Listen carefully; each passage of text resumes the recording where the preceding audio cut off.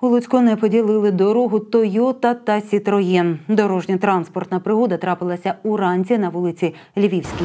Не надавши переваги у русі, водій Сітроєна протаранив Тойоту. Автомобілі зазнали значних механічних ушкоджень. На місці працювали поліцейські. На щастя, ніхто не постраждав. Винуватець аварії свою провину визнав.